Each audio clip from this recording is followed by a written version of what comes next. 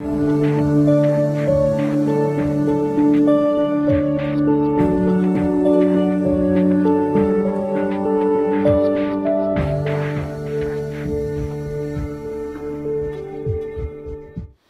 friends, Dr. Randy Lane Bunch here, pastor of Connecting Point Church and the founder of Connecting Point Communications. We're delighted you've tuned into the broadcast today and we believe we have a message that's going to be a tremendous blessing for you as we begin to talk today about faith and works. But before we get into the message, as always, we want to remind you of the resources we have free and available for you 24-7 at randylanebunch.org. Of course, that's the Connecting Point Communications website. And under the media link in the main menu, you will find a plethora of resources free and available, available to you 24-7. We have our magazine, our blog, our podcast. Past editions of our television broadcast can be found right there on our YouTube channel. We would love it if you would go there, subscribe, like, and comment. That would be a great blessing to us.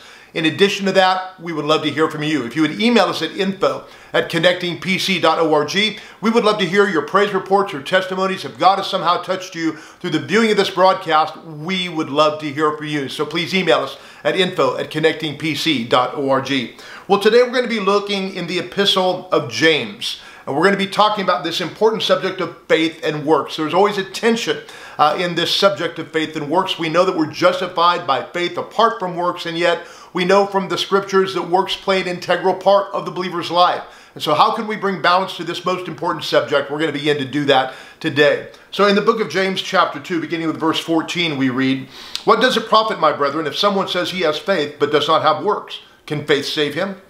If a brother or sister is uh, naked and destitute of daily food, and one of you says to them, Depart in peace, be warmed and filled, but you do not give them the things that are needful for the body, what does it profit?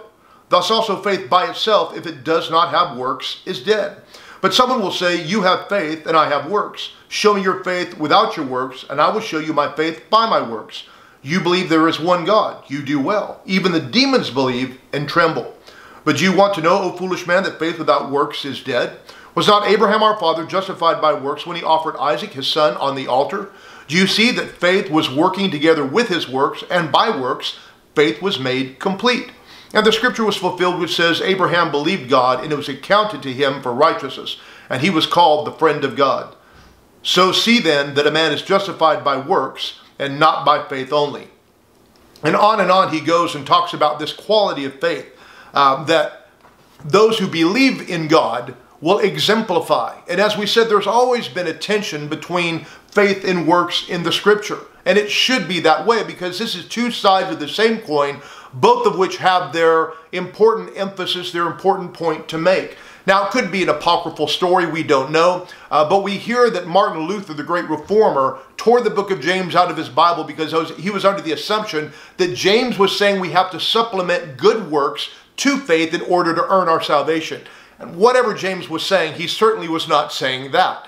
So what was James saying? He wasn't saying anything that was in conflict with the Apostle Paul's message about justification of faith apart from works. He was simply telling us that the faith that justifies will produce works or it will act on what it believes. So he was talking about a quality of faith. James would say to us that saving faith is faith that acts, that responds to and lives in accordance to what it believes.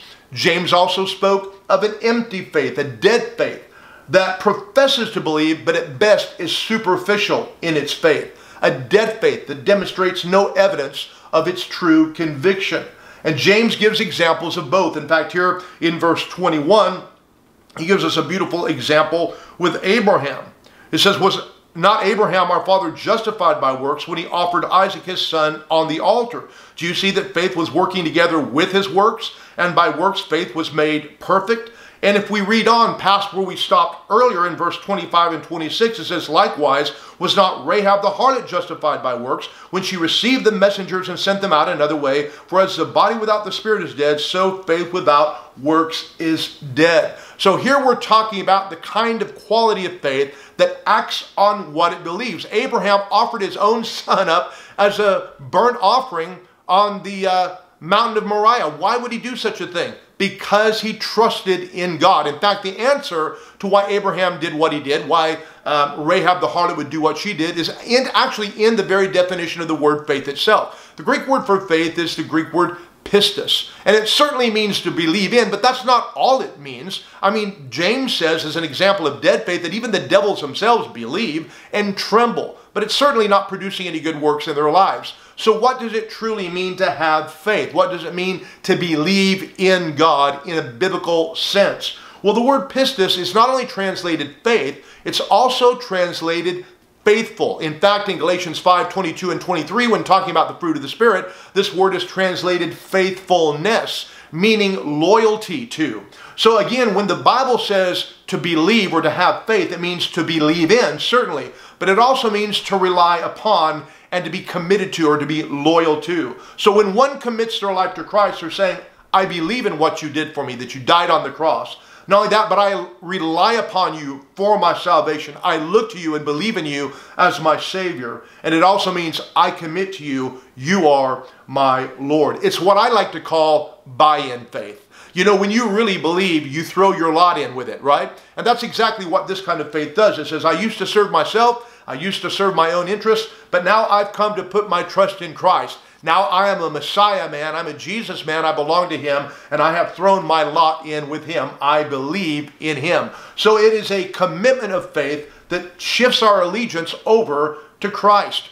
I was reading, actually listening to an audiobook by N.T. Wright on the life of the Apostle Paul, kind of a biographical sketch of the life of Paul that N.T. Wright puts it together. It's in a book simply called Paul by N.T. Wright. And he was talking about Paul's gospel and he was talking about Paul's use of this word faith. And it's very interesting because many of these concepts in the Roman world would have been transferred to Caesar. He would have been Kyrios or Lord. The Greek word Kyrios is translated Lord. He would have been the one whom you were to look to for your salvation. He's the one that was going to establish universal peace. And Paul plays on that in his gospel and says, no, Caesar is not Lord. Jesus is Lord and you must believe in him. And he defines this word pistis as believing allegiance. I love that. We put our faith in, our trust upon, our reliance in, and our loyalty to Christ. We fully believe in him. And so Caesar's not Lord. Jesus is Lord. He's the one in whom we are committing our trust. He's the one in whom we are believing. And we even see this kind of played out in what we use in Romans 10, 9, and 10 as the foundation for what we call the sinner's prayer. There's no actual sinner's prayer in the Bible, but sometimes we'll pray a prayer with a lost person that wants to put their faith in Christ to help them express their faith in Christ. And here's kind of the foundation for that in Romans 10, 9, and 10, that if you confess with your mouth the Lord Jesus and believe in your heart God raised him from the dead, you will be saved. For with the heart one believes unto righteousness, and with the mouth confession is made unto salvation. So again, the faith that saves commits. It's all in. Jesus is Lord. I'm putting my trust in Him. And we can see even here that the kind of faith requires a response, an action of response. Here, we confess with our mouth the Lord Jesus. In other words, it's not just a private faith that we have in our heart, it's something that provokes a response and then afterward produces good works in line with what we say we believe. So again, we act in faith and confess, and our faith produces works that are evidence of the kind of faith we have. We believe and we commit to the Lord's uh, lordship. And in fact, that really fits in well with the message of Jesus. The primary message that defined his life and ministry was that of the kingdom of God. And Jesus said, hey, there's a new kingdom coming. It's breaking through even now. It's this kingdom. And he, of course, he's the king of the kingdom. And if you want to become a member of the kingdom, you have to put your faith and your trust in the king. So it's our response to the gospel and the resulting works are the evidence of that believing faith. And really throughout the scriptures, we see the kind of faith that acts, that puts into motion what it says it believes. Let's look at a couple of stories that are probably familiar to us in the scriptures as evidence of this kind of faith that acts, this faith that moves in correspondence to what it professes to believe. Let's look in Mark chapter 5 at the story that we know commonly as the healing of the woman with the issue of blood.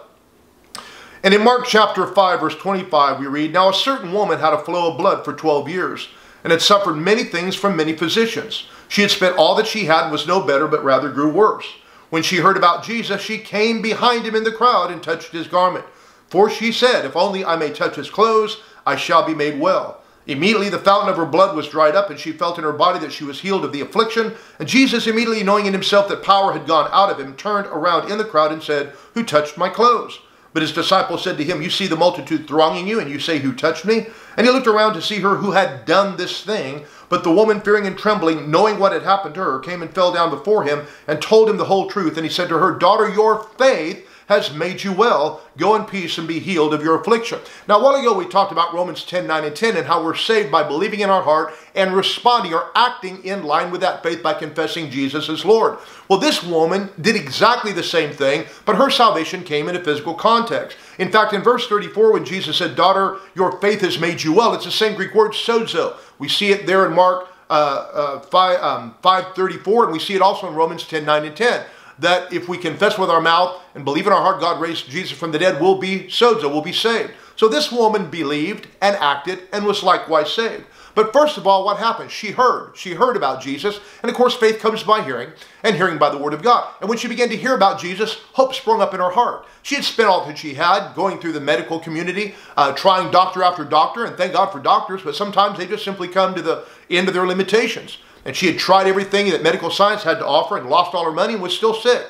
So now she hears about Jesus. People are being healed through his ministry, and all of a sudden it begins to spark a hope. And then she begins to get motivated to put her faith, some feet to her faith, we could say. So the very first thing, the Bible says that she came behind him in the press, for she had said, in fact, it's in the continual presence in the Greek. She kept saying to herself, If I can just touch the hem of his garment. What is that? She's believing in her heart. She's saying it with her mouth. She's following it up by actions by coming in the crowd behind him. And she touches the hem of his garment. It was an act, but it was an act of faith. Now, when Jesus feels her touch, he doesn't feel her touch per se. He feels power flow out of him in response to her faith. And he said, Who touched me? And the disciples thinking, Dear Lord, is he having sunstroke? What's going on with him? Everybody's touching him. But see, there was something distinctive about her touch. Their touch was just a physical action. Her touch was motivated by faith. You could say she was justified or saved by her works that were motivated through her faith. So her faith was a saving faith, a complete faith that acted on what it believed. She was saved through her faith. She was healed by her faith, but that faith was evidenced in her actions. And the Bible said, when uh, she saw what uh, uh, when Jesus wanted to see who had done this thing. In other words, who performed this act of faith. And she fell down before him and said, "It's me." And uh, he said, "Daughter, your faith has made you well." But it was a kind of faith that was put in action. We see the same thing in the story of blind Bartimaeus. In Acts chapter 10, we see this faith in action, this faith that saves. Faith that saves is faith that acts. No, we're not saved by earning anything through our works but it's our works that are evidence of a believing faith. And here we read in Mark chapter 10, beginning with verse 46 Now they came to Jericho. As he went out of Jericho with his disciples and a great multitude, blind Bartimaeus, the son of Timaeus, sat by the road begging. And when he had heard that it was Jesus of Nazareth, he began to cry out and say, Jesus, son of David, have mercy on me.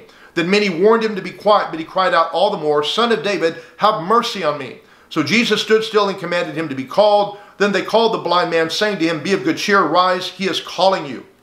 And throwing aside his garment, he rose and came to Jesus. So Jesus answered and said to him, What do you want me to do for you? The blind man said, Rabbi, that I, Rabboni, that I may receive my sight.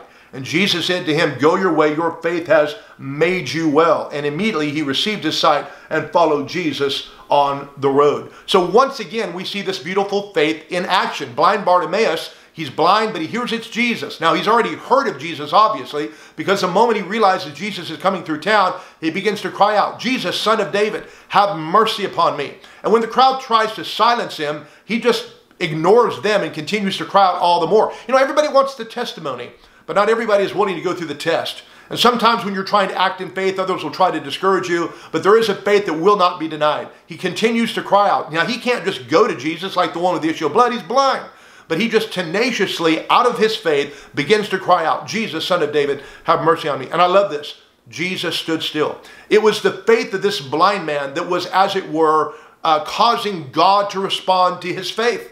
And so Jesus called him, and of course, now everybody's on his side. Everybody's excited about the fact that now this man's going to receive a miracle from Jesus. He says, What do you want me to do from you? And he said, Rabboni, that I may receive my sight. And what did Jesus say to him? The same thing he said to the woman with the issue of blood Go your way, your faith has sozo. Your faith has saved you, it has made you well. And he followed Jesus in the way. So once again, we have someone who's heard, someone who's believed, but they're not just sitting back saying, oh yeah, I believe Jesus. Yeah, he does miracles. And it's wonderful that all these people have been healed through the ministry of Jesus. No, it got him in motion. And I'm sum submitting to you, friend, that when you believe, you get in motion. You begin to act on your convictions. You begin to act in line with what you believe. I think it's so beautiful to see their faith in uh, at work. Faith is not the opposite of effort. Faith is the opposite of earning. See, these people weren't trying to earn their salvation, but they were making certainly an effort in the light of what they believed to get to Jesus. And likewise, friend, I'm submitting to you that when you truly believe, it produces action and effort in your life. I'll never forget, there was a number of years ago, I was in the traveling ministry, traveling throughout the United States, even limitedly abroad, uh, having a wonderful time in the ministry. But after about six years, God began to deal with me about a change of season. I could begin to sense something internally changing on the inside of me. The grace began to live for traveling ministry, and I began to realize God was beginning to refocus my attention in a new direction. So for about six months, because I believed that, I began to seek God earnestly. And for about six months, I didn't have exactly clarity. I just became more and more persuaded and convinced this season's over. I'm in a season of transition. Something new is coming down the pike. And sure enough, one day when I'm in the state of Vermont, where I ministered quite a bit, I ministered a lot in the New England area. I'm in the state of Vermont. I remember I was on one particular side of the street. I looked up, happened to see the house on the other side of the street, and nothing special about that moment other than God spoke to me instantly in that moment. Said, I want you to come to the state of Vermont. I want you to plant a church. And we did that, and we spent 10 years in the state of Vermont, about 16 years total between traveling and pastoring. But when we began to hear that uh, uh, direction from God, we began to get in motion right away. The very first thing we began to do was pray about that new season. Every night until we finally moved to Vermont some months later, we prayed just about every night, praying out the details, getting the mind of God for that season of transition and what it would look like when we went there to plant a church. Secondly, we began to transition. We quit booking meetings on the road to go out and travel, and instead we began to gear up for our season of pastoring in the state of Vermont. We began to share our vision with people. The next thing we did was we scoped out the, the area. We went and did some reconnaissance. I made it my business to get to Vermont as many times as I could. I was ministering a lot in the New England area anyway. And so I had a particular friend I preached for a number of times that lived in New Hampshire. And I said, John, can I come preach in your church? I want to go scope out Burlington, only about a three hour drive from John's place. So he said, sure, come on over. We held a meeting, and that meeting helped provide the funds for me to go up and scout out and do some reconnaissance in the Burlington area where we eventually established our church. And so we visited the area. Uh, number four, we, locate, we began to establish a partnership program. We began to share with all those New England pastors and churches that had known us for a number of years that God had spoken to our hearts to go to the state of Vermont and plant a church. And as a result of that, because they knew our ministry and we were a proven commodity to them, they began to get behind us and begin to support us financially. A number of the churches supported us 200, 300, 150, 150 dollars every single month. It didn't underwrite our total expense, but it sure gave us a, a, a jump start. And so we got some small part-time jobs and were able to pastor our church and get it rolling. And then, of course, we began to tell family and friends and fellow ministers. And then lastly, I remember printing business cards. Why? Because I believed I was going to Vermont. because that's what God had said to me. And because I believed it in my heart, I was committed to it and I began to act in line with that. And you know what? God honored our faith. I'll never forget, we didn't have a house to live in there. We went by faith and we didn't even have a house yet. And what we didn't know is in the Burlington area, because of the local college there, it was very difficult to get housing. And so I remember we applied for one particular house along with 200 other people. And at least we were interviewed. We made, it to the interview process, but somebody else got the house. And, and it didn't look like we were going to be able to get any living quarters. And I thought, dear Lord, what are we going to do? God sent us here, but we just continued by faith to trust God for the right house to open up for our relatively large family. And I'll never forget, we had uh, ridden around one day with a realtor when we had gotten there early. We only had about a month to stay in an apartment that belonged to some friends of ours, kind of downstairs in their home. And we were coming down to the last week. And sure enough, there was a realtor that we had looked at some homes with, and she found a relatively large house right off the highway, perfect location, right in the heart of the Burlington, Colchester, Essex area. And uh, she remembered, she said, I remember that family. I need to show them this house. So she never even listed it. She just showed, we were the only one to see it. And then we talked to the landlord. She happened to be working at the uh, University of Vermont at the time, had an interview. And I remember in my heart I had peace, even though my head was in turmoil. What if we don't get this? What if this doesn't happen? But somehow in my heart I had peace because we were acting in faith, trusting for God to supply. And you know what? We ended up with that house. God opened up every door. We were there for 10 years, established a wonderful church that was able to bless many, many people. And on the very last day we had to stay in that apartment, we moved into our new house. Of course, we know that the great faith chapter is Hebrews chapter 11. So I want you to take a look at some of these verses with me here. And let's look at verses 1 and 2. It says, Now faith is the substance of things hoped for, the evidence of things not seen. For by it the elders obtained a good testimony. Now, the elders are talking about those Old Testament men of faith who believed God and acted on what he told them to do.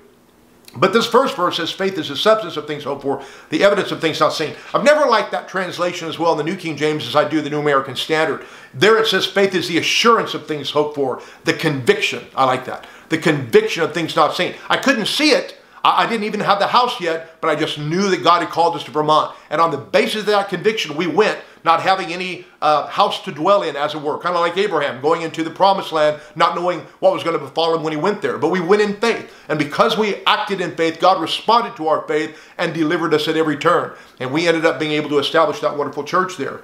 But then he goes on to say that the elders obtained a good testimony by their faith. And as you begin to read through this entire chapter, you begin to see that these men believed what God said and simply acted on what he told them to do. Look at a couple of these verses. Verse 4 and 5 says, By faith Abel offered to God a more excellent sacrifice than Cain, through which he obtained witness that he was righteous, God testifying of his gifts. We could easily say his works. And through it, he being dead still speaks. By faith Enoch was taken away so that he did not see death, and was not found because God had taken him. For before he was taken, he had this testimony that he pleased God.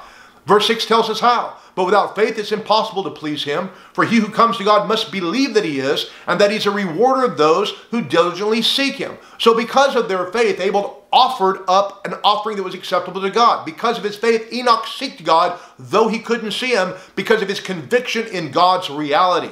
So they acted on what they believed. Listen to verse 7.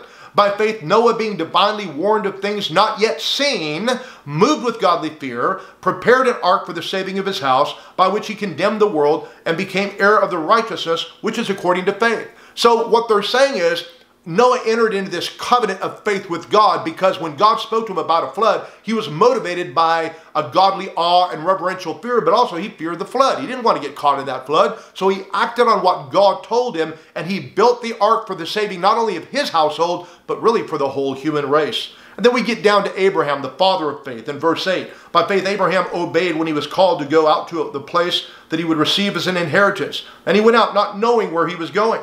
By faith he dwelt in the land of promises in a foreign country, dwelling in tents with Isaac and Jacob, the heirs with him of the same promise, for he waited for the city which has foundations, whose builder and maker is God. And friend, I promise you, if you go through this whole entire chapter, what you're going to find is they believed and they acted. They believed and they put feet to their faith. They worked out their faith through action. And it was their faith that justified them because it was evidence of a saving faith. No, we're not justified by works in regard to earning anything, but it's our works that are evident, our actions that are evident of a saving faith, a quality of faith that truly saves. Just like the woman with the issue of blood, just like blind Bartimaeus, just like the one who hears the gospel and responds to it by saying, I put my faith, my trust in Jesus, I'm committing to him. Friend, if you truly believe Jesus is Lord, if you truly believe that he's the one who's redeemed mankind, that he has a plan, an overarching plan for the world, but also you and I. He's got a plan for our life as well. You're going to commit your heart and life to Him. You're not going to trust in your own plan. You're going to trust in Him. Uh, the Bible said, We all like sheep have gone astray. We've gone everyone to his own way, but God has laid on him the iniquity of us all. See, that's the nature of sin. It goes its own way. But faith always goes the way of God. But it trusts in it puts its trust in him, not in oneself. It puts its trust in him, not the broken systems of this world. And friend, I want to ask you today, do you have faith in God? Let me ask you this. Have you put your faith in Christ? Have you put your trust and your reliance upon Him? If I were to ask you today, how do you know you're going to heaven? What would you say?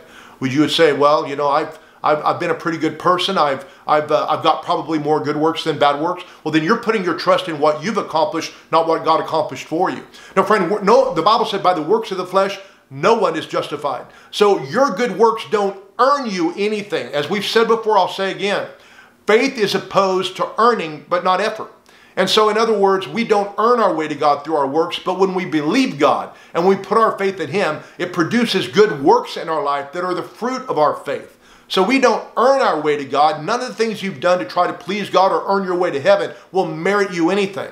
But when you truly believe the gospel, you'll respond to it. You'll act in faith in line with it. And then from then on in your life, it will produce the good works of your conviction regarding God, His will, plan, and purpose for your life. My life has been a series of actions responding to the call of God because my faith is in Him. Is your faith in Christ today? Have you put your trust in Him? Why don't you do it right now? Why don't you respond to the gospel? Why don't you act on the good news of Jesus Christ and trust in Him? Friend, I want you to pray this simple prayer with me. It'll be your act of faith. It'll be a way in which you can act on this good news of Jesus Christ, that He died for your sins to pay the debt that you could not pay. He settled the scales of divine justice, balanced the scales of divine justice on your behalf, and settled your debt. When he cried out, It is finished, that was a Greek word, tetelestai. It means paid in full. Have you put your faith in him? Why don't you do that right now? Just say this Dear Jesus, I believe in you. I believe you died for me to pay the penalty for my sins. Come into my heart, Lord Jesus. Be my Lord and Savior. I respond to your gospel and I confess you as my Lord. Amen. Friend, if you prayed that prayer, I want to hear from you. Would you email me at info at connectingpc.org? But before we go today, I want to pray for you. Maybe you have a need in your physical body or maybe you have a financial issue that's pressing upon you. You don't know what to do. Maybe you're oppressed in your mind and you have no peace or freedom because of the oppressive thoughts uh, that, that, are, that are clouding your mind and keeping you from enjoying the abundant life that Jesus came to give you. I'm going to pray for you and I want you to agree with me today that our living God still works the works that demonstrate he is the ultimate power in the universe to set you free. Jesus uh, came to set people free through the anointing that was upon him. How God anointed Jesus of Nazareth with the Holy Spirit and power. What about doing good and healing all that were oppressed of the devil? Well, friend, Jesus is still doing those good works through his church today. He told us, You will receive power when the Holy Spirit has come upon you, and you'll be witnesses to me in Jerusalem, Judea, Samaria, and the uttermost parts of the earth. So Jesus is still working in the earth today through his church. So let's believe him actively now and participate in his redeeming work. Let's receive healing. Let's receive deliverance and provision in your life right now as we pray. Father, I pray for my friends watching this broadcast. Father, I pray that you would stretch forth your mighty hand as they're believing and responding right now to the gospel. Their hands uplifted, their hearts surrendered. We ask you, Father God, to minister healing to their bodies. We thank you, Father God, that this free gift of righteousness that is ours Father God, comes on the same basis as the healing, as the blessing, as the provision, not something that we've earned, but something that Christ secured for us in his finished work, and we believe it. We receive healing. We receive deliverance. We receive provision. We thank you, Father God, for meeting every need. We command that cloud of oppression to be dispersed from the minds of those watching this broadcast. Father, right now I pray for strength flowing into the bodies of those that are weak. I, I, just know there's somebody here, you've got weakness in your body. I don't know if it's from COVID, I don't know if it's from other kind, some other kind of condition, but right now God is just flooding your body with strength. We speak strength to that body, just the free gift of God because of the finished work of Christ. And we respond in faith to what Jesus did. And we thank you for that one being strengthened right now by your mighty power. Thank you, Lord, for strengthening their body, making them whole. We give you thanks and praise for all of this, Father. In the mighty name of Jesus, we pray. Amen. Well, friend, thank you so much for joining us today. Isn't it good news uh, that we can put our faith and trust in Christ? We can rely upon Him, we can commit to Him, and then our works will be a demonstration of that faith that saved us by grace alone. Thank God. And so, friend, I want you to go to the website, randylanebunch.org. We have an abundance of materials on our website. Under the media link there, you will find, again, our blog, our podcast, our magazine, past editions of our television broadcast. So many resources that will build you up in the faith. As we said, when you feed your faith, you starve your doubts. Just let your doubts die. We want you to take advantage of all of those resources. And again, we'd love to hear from you. So email us at info at connectingpc.org. Well, friends, thank you for joining us. uh, here on the broadcast today, and we look forward to seeing you next time on Connecting Point.